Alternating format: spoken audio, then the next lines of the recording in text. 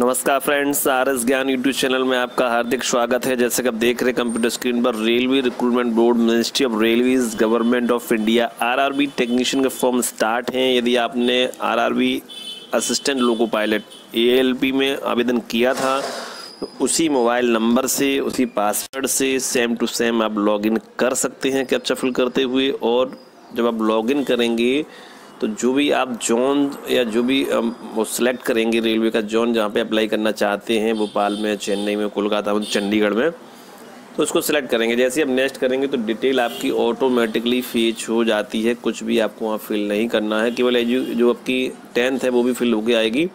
But आपको ITI या फिर थ्री डिप्लोमा जैसे भी आपने पोस्ट को चूज़ किया, वो आपको फिल करना होगा। फ़ोटो का जो बैकग्राउंड है, वो आपको वाइट लगाना और अच्छी क्लैरिटी में फ़ोटो को अपलोड करना, ये बहुत ही महत्वपूर्ण है। आरआरबी टेक्नीशियन में इस चीज़ का विशेष ध्यान रखें। जो भी न्यू फॉर्म भर रहे हैं तो उसमें बिना वाइट बैकग्राउंड की फ़ोटो अपलोड नहीं हो रही है। तो प्लीज़ वाइट बैकग्राउंड अच्छी क्लैरिटी में फ़ोटो को अपलोड करें और हम साथ ही साथ चर्चा करेंगे। पेमेंट भी फेल्ड हो गया है। या सक्सेस हो गया है। दोनों ही परिस्थितियों में पेमेंट कटा है तो आप अपडेट कैसे कर सकते हैं? छोटी छोटी ट्रिक को अपनाकर अपना दोबारा पेमेंट कटने से बचा सकते हैं। तो चलिए यहाँ पर मोबाइल नंबर और पासवर्ड को डालकर जो है कैप्चा फिल करते हुए लॉगिन कर लेते हैं। यदि आप पासवर्ड भूल गए हैं तो पासवर्ड को फॉरगेट कर लीजिएगा और इसके दोबारा से लॉगिन कर लीजिएगा। दोस्तों, आप देख पा रहे होंगे टेक्नीशियन ग्रेड थर्ड का ये है और यहाँ पर टेक्नीशियन फ़र्स्ट सिग्नल का भी यहाँ फॉर्म है। तो आप जिस भी पोस्ट के लिए अप्लाई करेंगे बट जो पेमेंट का जो प्रोसेस है, वो सेम होगा। ठीक है, यदि आप न्यू यूज़र हैं तो यहाँ पे आप प्रोसेस पूरा देख सकते हैं पेमेंट को कैसे करना होता है। देखिए, जैसे फॉर्म अपना फिल कर लिया, अच्छे से उसे चेक कर लीजिए, बढ़िया से, ठीक? अब आप यहाँ पर आ चुके हैं, या फिर पेमेंट के ऑप्शन पर पहुँच चुके हैं तो इसको आप लॉग आउट कर दीजिए। ब्राउज़र स्टिक क्लीन कर लीजिए, कुकीज़ को हटा दीजिए बिल्कुल अपने ब्राउज़र से। उसका दोबारा से रन कराइए और अच्छे से ओपन करिए, क्योंकि सब लोग हम पहले से ही सब कुछ चेक कर चुके हैं, ठीक है? आप सीधा पेमेंट में आएँगे, डायरेक्टली पेमेंट करिएगा आप, डेबिट कार्ड से, नेट बैंकिंग से। यूपीआई या यू से कर सकते हैं, बट यूपीआई से बचना चाहिए। अब नहीं है तो आप यूपीआई से कर दीजिए। लेकिन थोड़ा टाइम सेशन का और जैसे बता रहे हैं, वैसे करेंगे तो ज़्यादा बेटर रहेगा। अब किसी टाइम साइड आपको दिक्कत कर रही है तो उस टाइम रुक जाइए। कुछ घंटे बाद या नाइट में या मॉर्निंग में प्रयास करेंगे तो ज़्यादा बेटर रहेगा और फ़ीस भी आराम से सक्सेस हो जाएगी। फिर भी कुछ समस्या लग रही है तो कमेंट लिख सकते हैं। तो फ़िलहाल हम यहाँ पर बात कर लेते हैं थोड़ी सी कि जो पेमेंट यदि फ़ील्ड हुआ तो यहाँ पर पेमेंट पेंडिंग दिखेगा। पे नाव का ऑप्शन यहाँ दिखेगा और ये वेरीफाई है। यहाँ वेरीफाई का बटन हाईलाइट हो जाएगा। ये प्रिंट तभी निकलेगा जब आपका पेमेंट सक्सेस हो जाएगा। ठीक है, यहाँ पे स्टेटस सक्सेस देखना चाहिए, तभी ये प्रिंट जनरेट होगा। प्रिंट में भी पेमेंट आना चाहिए। और फ्रेंड्स यहाँ पेमेंट हिस्ट्री जब आप ओपन करेंगे तो यहाँ पेमेंट हिस्ट्री आपको दिख जाएगा। पेमेंट सक्सेस पेमेंट डन और प्रिंट यहाँ आपका जनरेट हो जाएगा। प्रिंट में भी पेमेंट की डिटेल्स आनी चाहिए। ठीक है, और ये वेरीफाई का बटन है स्टॉप दिखेगा आपको। ठीक, और यहाँ पेमेंट का बटन भी जैसे यहाँ स्टॉप दिख रहा है, ऐसे यहाँ पर भी स्टॉप दिखेगा।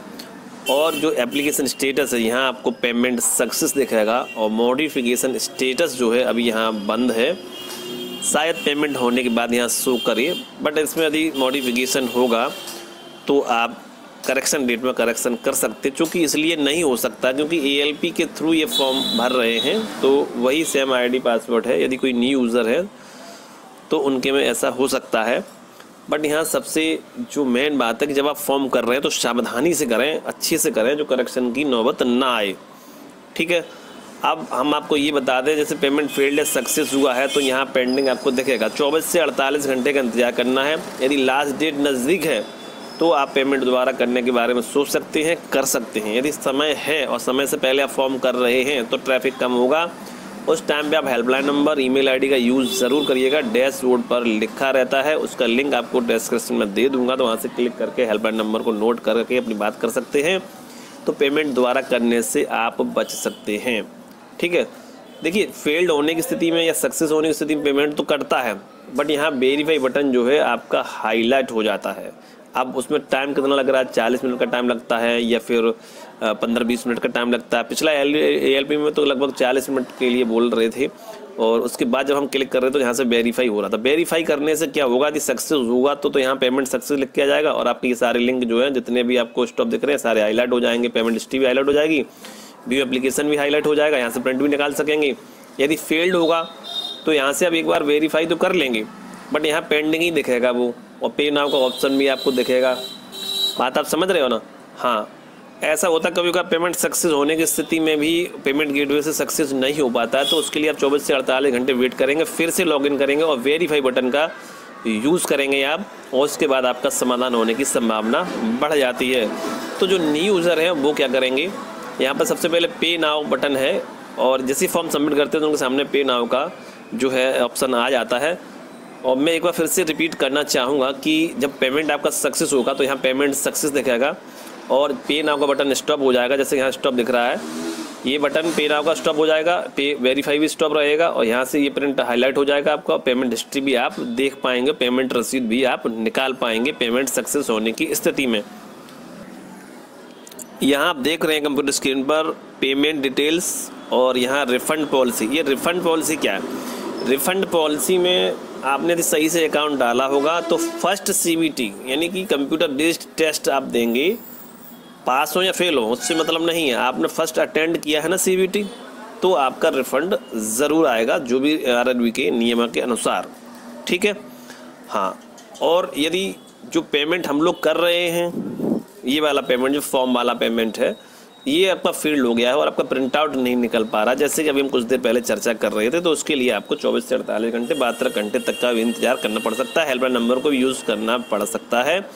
इस चीज़ का भी आप ध्यान रखें। फॉर्म तभी सबमिट माना जाएगा जब आपका पेमेंट क्लियर हो जाएगा। जैसे कि यहाँ पर दिया हुआ final submission of online application happens only after payment of examination fee तभी आपका सक्सेसफुल माना जाएगा। तो चलिए न्यू यूज़र के लिए ये वीडियो खास होने वाला है। तो यहाँ पर पे नाव पर बटन पर क्लिक करना होगा। जैसे ही आप फॉर्म को सबमिट करते हो तो यहाँ पे नाव का बटन एक्टिवेट होता है तो पे नाव पर क्लिक करेंगे। सावधानियाँ मैंने आपको बता दी ब्राउज़र हिस्ट्री को पहले क्लीन कर लेना है, सब कुछ बढ़िया से कर लेना है, और दोबारा से लॉगिन करना है, सब कुछ चेक पहले से कर लेना है। जैसे आप दोबारा से लॉगिन करेंगे, सीधा पेमेंट का ऑप्शन लगेगा, और सीधा आप पे पर क्लिक करेंगे, फटाफट पेमेंट करते जाएँगे। पेमेंट आपका हंड्रेड परसेंट सक्सेसफुल हो जाएगा। फ्रेंड्स यकीन मानिए, और नेट बैंकिंग डेबिट कार्ड का ज़्यादा से ज़्यादा यूज़ करिएगा। देखिए, यहाँ पे भी वही दे रहे हैं कि जो फ़र्स्ट अटैम्प्ट अटेंड करेगा, उसका जो फ़ीस जो सक्सेसफुल हुआ है सक्सेसफुल प्रिंट आउट उसका निकल आया है प्रिंट आउट में पेमेंट फ़ीस डिटेल्स भी है और जिसने फ़र्स्ट अटैम्प्ट सीबीटी किया है, उसका रिफंड आएगा, ठीक है?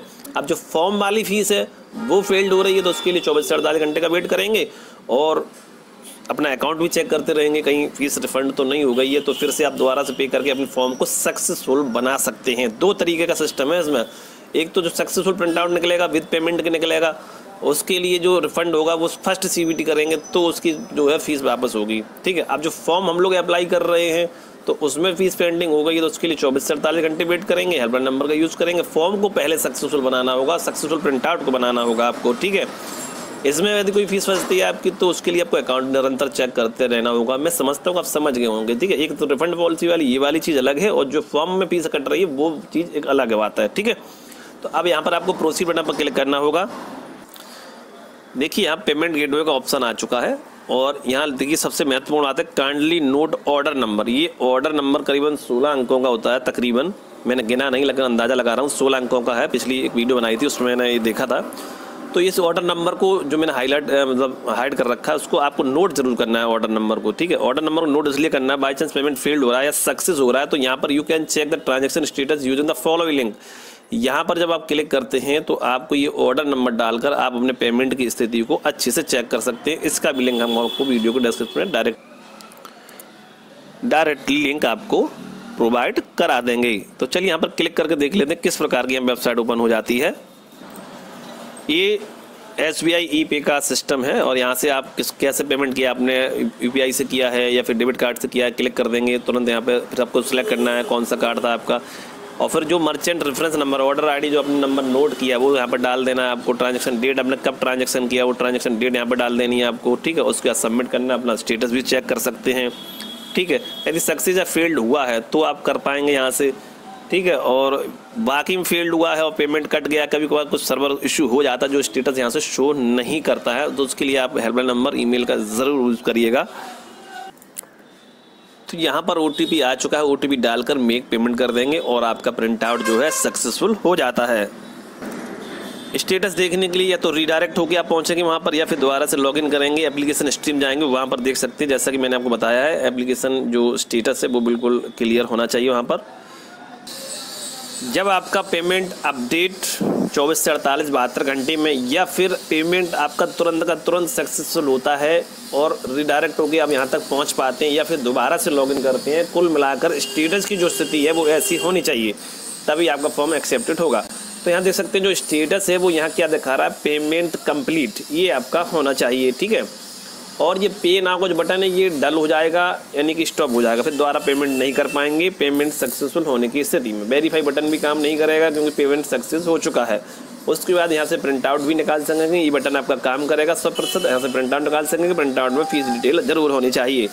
उसके बाद यहाँ फ़ीस रिसिप्ट भी निकाल सकते हैं, यदि ऑप्शन आ रहा है आपके में, और पेमेंट हिस्ट्री से क्लिक करके आप अपना पेमेंट स्टेटस या फिर स्लिप डाउनलोड कर सकते हैं। तो फ्रेंड्स, आपको वीडियो कैसा लगा, यदि पसंद आया तो लाइक, सब्सक्राइब करें। किसी भी समस्या के लिए कमेंट ज़रूर करें।